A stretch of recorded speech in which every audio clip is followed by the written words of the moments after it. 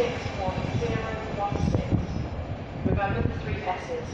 See it, say it, sort it.